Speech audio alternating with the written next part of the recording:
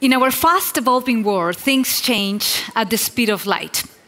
And if we truly want to create a successful company, it's important that we understand what are the factors that are going to determine our success. And, and our, next guest is an expert on that. She is uh, pretty amazing. She's a powerhouse on her own.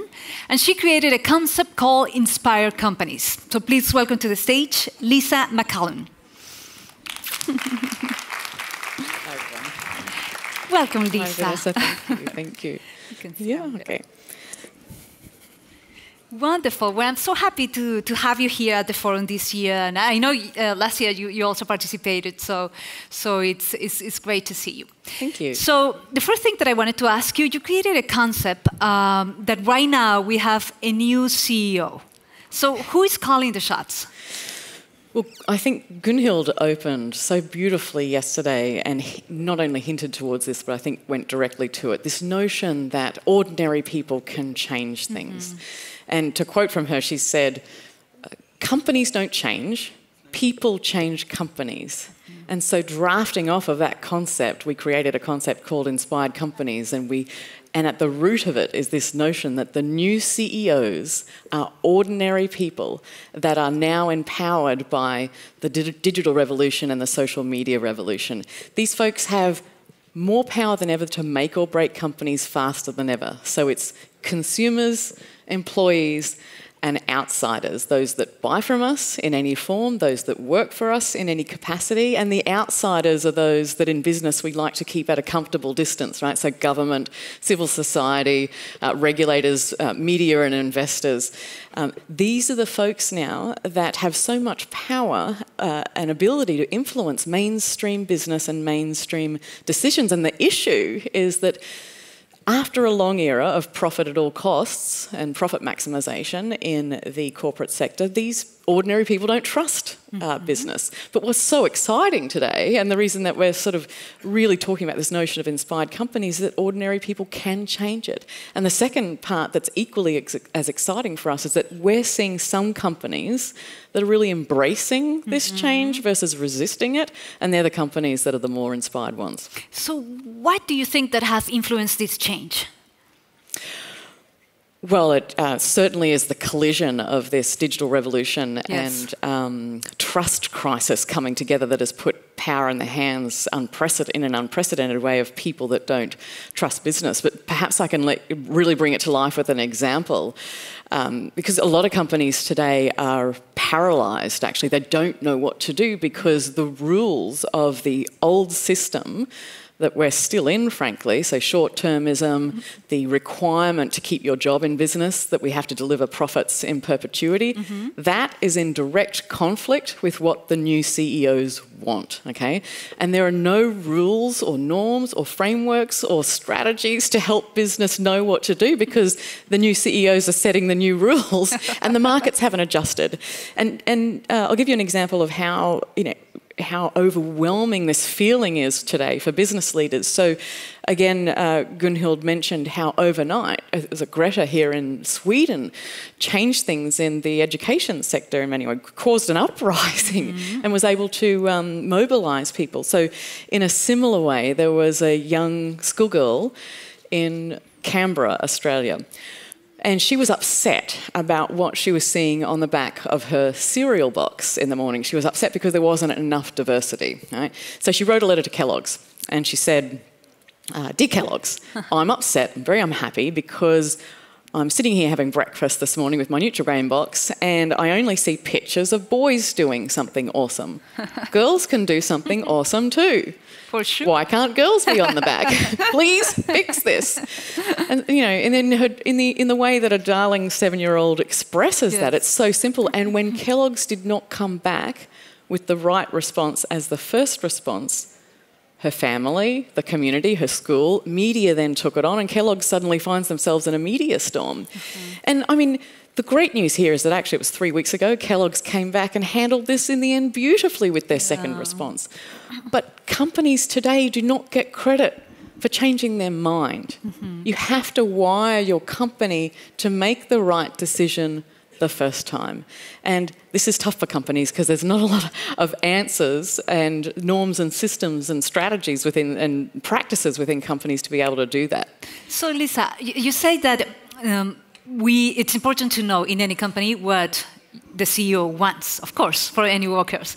So, what should we do? I mean, what are the new CEOs looking for in a company?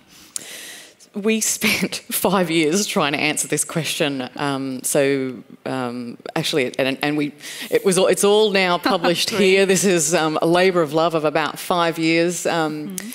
I got together with another former Nike executive, Emily Brew, and we, after leaving Nike, and collectively we were there for about 30 years, we spent time looking at hundreds of examples across the world, across industries to really understand and look for what are the new CEOs mm-hmm. asking for and which companies are succeeding. And we also paid equal attention to the companies that are failing. And after looking at enough examples, um, a framework and a set of building blocks and strategies actually started to present itself. And that's what we've published in now uh, this book called Inspired Inc. And if I can cut to the chase on the two big takeaways from all that work, uh, there's really two things. Uh, you have to do the work there's no silver bullet. Uh-huh. Um, there is a journey for each company to go on. And, uh, you know, it, it can take time depending on whether you're a big company or a small company, and, and it's going to be very different for each. And I think a concept that, uh, that you explain very well, uh, that is so fascinating, is that right now the consumers are not just satisfied with a product or with a service. They are looking for a purpose, for something uh, that is uh, inspiring behind the company. How is all this playing in putting sustainability at the center stage? Mm. Well, so um, I think 20 years ago, companies were able to potentially compete on the shelf because they had a good corporate social responsibility mm-hmm. program, and the consumers might have had some information that this company was a little better than that company. And today, uh, what we know is these consumers want significantly more than that. And for you to be able to earn their share of wallet, you need to be able to show up with significantly more believability, authenticity, and you need to be um, pursuing much bigger ideas. So, after doing this work, we found that the companies that are succeeding and gaining the ultimate advocacy, trust, believability, and um, ultimate wallets of uh, consumers, the companies that are doing this well, they all start with one thing and they start with an inspired mission. Some people talk about purpose statements. Yes. Um, we believe firmly that every company need, needs one statement to present what their big idea is to the world and present it in a way that has many winners. And companies that at the start line definition of their organisation define an idea that invites these new CEOs in to participate in their company, in the idea that the company is pursuing, they're the ones that win.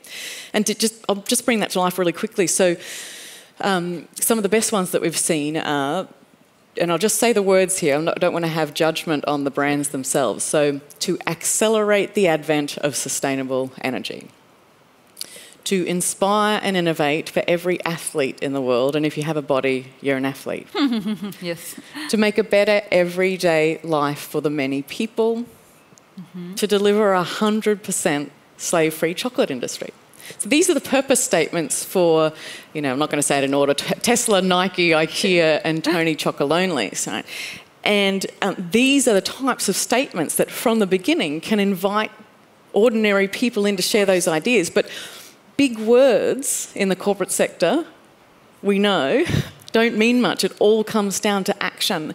And again, this is what we focused our entire effort yeah. on. In fact, I think I mentioned 85% of this book is all about how to um, bring that authenticity to life and build some new frameworks and structures. And because the corporate sector works off of norms in the same way that other organisations yeah. do. We've got to create new frameworks and work in unison um, yeah. um, and deliver them. I can't wait to read that book. you promised to give it to me, so, uh, so yeah, I'm excited. That will be my read on the plane. So um, something that we were talking about just uh, backstage was that it was very important to be inclusive, to have a, a mission statement that was inclusive, that um, that make it maybe resonates with uh, with the new CEOs, with the consumers. Basically, why do I care? Why this is important to me?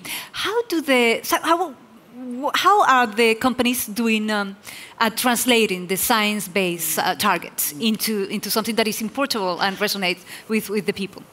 I think this was actually broached a little bit with the panel before us. So, anyone who's been in brand marketing or communications before knows that you cannot make people care about your issue and care about what you care about. You can influence some of them if you do a really good job. Mm-hmm.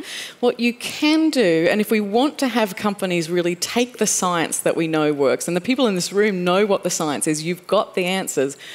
We actually have to do a far better job at translating that for the corporate sector to be able to run with. I think, you know, the default position has been for us to you know, outside the corporate sector, and I've lived in both worlds, so I can say us, mm-hmm. uh, is to come up with the answers, to work through all these complicated issues, to understand them at a true level of depth, and to then lob it over the fence mm-hmm. to the corporate sector to just sort of figure it out with this expectation that we're going to understand it and be able to run with it. And I mm-hmm. think that with all the will in the world, it's not going to happen unless we really look at the gap of translation and start to more specifically figure out how to take the gloves off on all sides of the sectors, roll sleeves up, get in there and get behind the companies that you actually believe have the will and the potential ability to do this, and help with the translation, and then publish it for all the sector to see.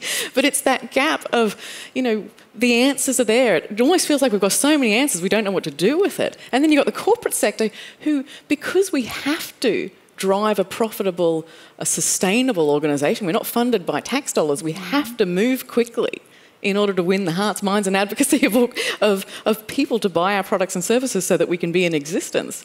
We need help with the, trans, the translation of it. Totally. So uh, I was reading an article that you read, uh, that you wrote last year, and then you were saying that not only the consumers is important, but also the people that work for us. I mean, they need to be happy with, with the job that they are doing and, and the, the mission of the company. So, uh, with the power of social media at our phones and our hands, how do companies survive with unpopular opinions from workers or from consumers? What should they do?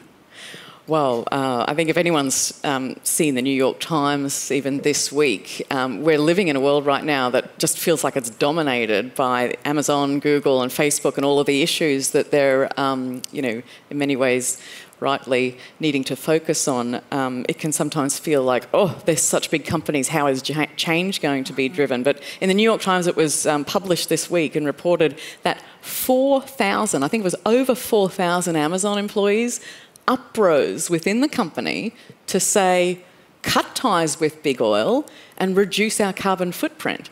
And unless you're an employer sitting there that you've got the luxury of firing 4,000 people that you know are driving change that you yeah. don't want to deal with, yes. you've got to make the change. It's not an option anymore. And the good news here is with, with all this power in the hands of especially yeah. employees, and I think we're just seeing the tip of the iceberg, and that's why it's so exciting what they're asking for fundamentally with this newfound voice is make the world a better place, please.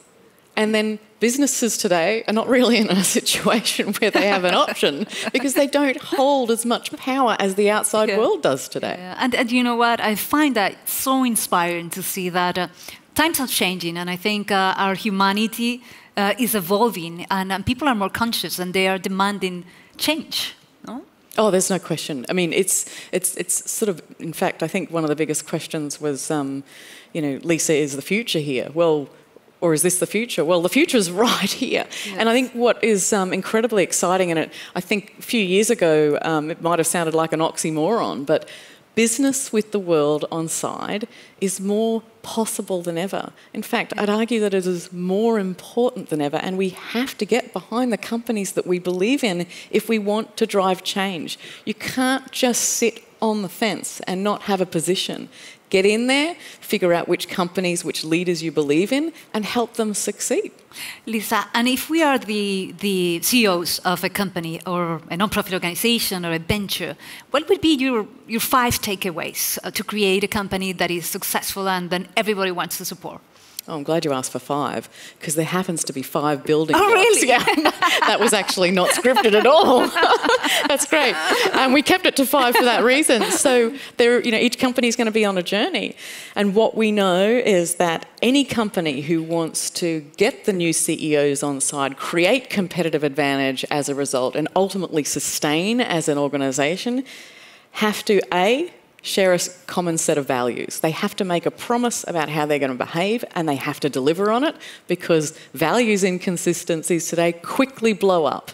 Okay. Right? Uh, then they have to commit to obsessively aligning into those big, big ideas, those big purpose statements that they're promising, and rewire themselves to, to consistently deliver. Mm-hmm. Then look at what norms in the system what norms in their industry are fundamentally working against those big promises, fundamentally working against um, a shared set of values, and get after them, change them, just like Tesla's done, just like Tony Chocolonely's in many ways in the chocolate yeah. industry has done. Um, and then be bold, be willing to stand up for the consumers and employees that you believe in. So, just to end quickly with Dahlia as an example, if the end story um, at the end of the day had been Kellogg's stood up for Dahlia in the first place, they wouldn't be in a position where really the story for the world right now is that Dahlia stood up against big company and won. And we can flip that. And that's what we and then we think that inspired companies can do that. Well, I love it. I, am taking note of everything that you say, and I'm going to read this book. Thank you so much for being you, here and uh, for everything that you do. Oh, great. Wonderful. Thank you. okay, thank, thank you, you very much. Thank you.